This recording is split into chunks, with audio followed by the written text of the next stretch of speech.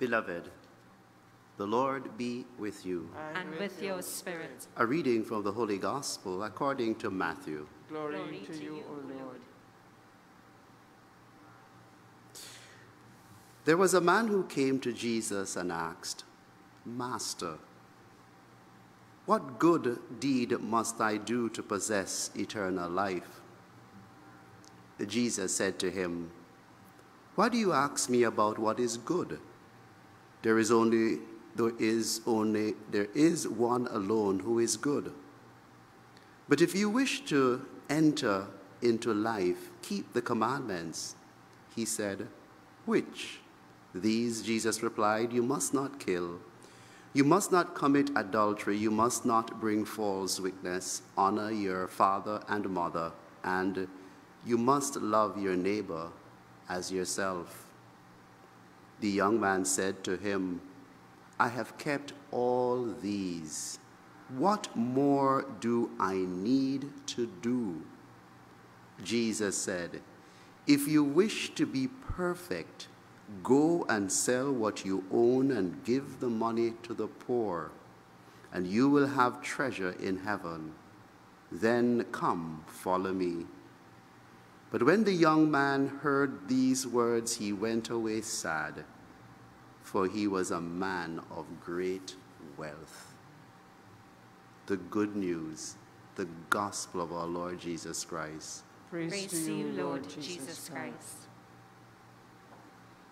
The line that strikes me in my prayer in today's gospel reading is the question of the rich young man. What more do I need to do? Or, as another translation puts it, what do I still lack? Beloved in Christ, this and similar question is usually asked by someone who wishes to learn, who wishes to grow, who wishes to become more mature, whether in the spiritual life or in uh, emo our emotional life. And uh, this question is usually posed, for example, in a student teacher relationship, in a parent child or parent children relationship, sometimes in a mentor mentee relationship, in a counselor counselee relationship, a parishioner pastor relationship, a spiritual director directee relationship. This is usually the question that is asked What more do I need to do?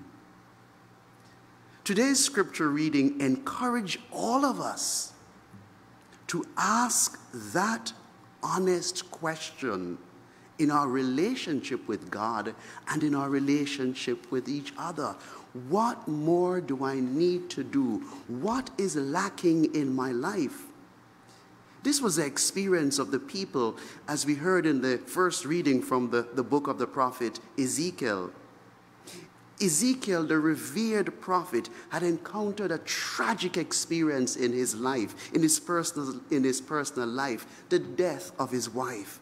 And a very interesting request is made of him by God. Seemingly, God is saying to Isaiah, Do not grieve publicly.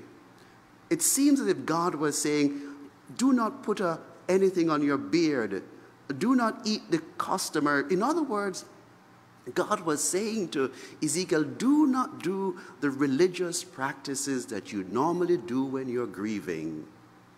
And the people somehow could not understand that. So they go to Ezekiel and they say to Ezekiel, Will you not tell us what all these things that you are doing mean to us?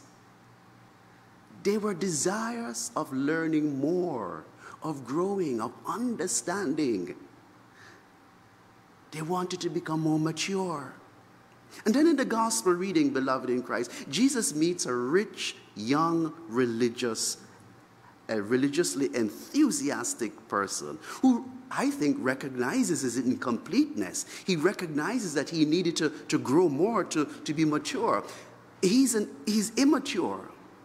He's lacking in something. He's rich because he has an over reliance on wealth. He's young he's inexperienced and he's religiously enthusiastic because he focuses on the law, on the letter of the law, and not on the spirit of the law. And so Jesus challenges him. He says, To be perfect, coming from the Greek word that means to mature, to become complete. What he's lacking in his spiritual life, what is lacking in his spiritual maturity, in his spiritual completeness, Jesus says to him, Do you know what? In order to become more mature, in order to become complete, you need to give up something. If you have an addiction and you want to become more mature and complete, what do you need to do?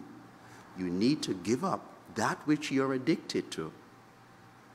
And so, the missionary challenge, beloved in Christ, that is given to us this morning is if you wish to become more mature, more complete in your spiritual life, you need to give up something that is holding you back.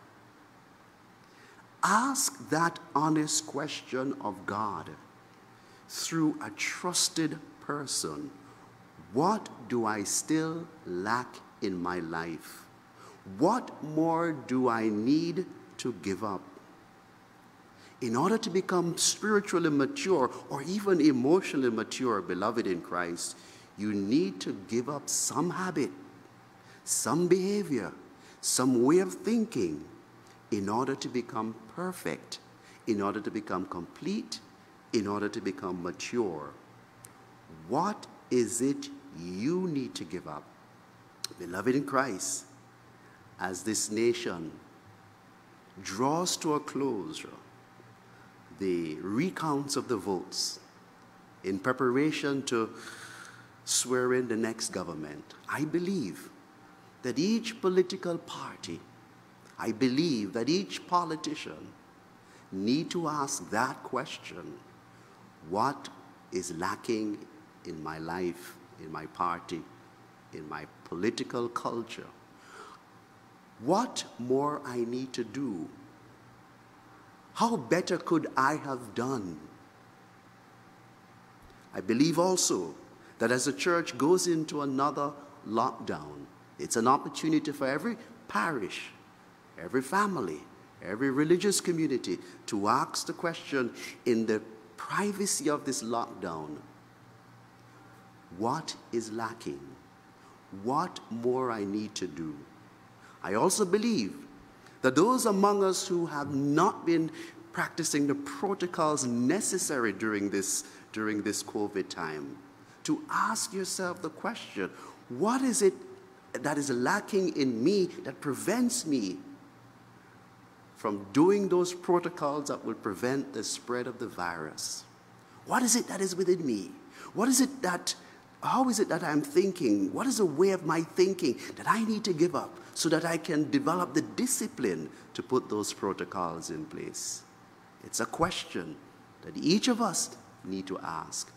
What more do I need to do to become mature, to become complete in my spiritual life, in my political life, in my church life, in my personal life? Amen.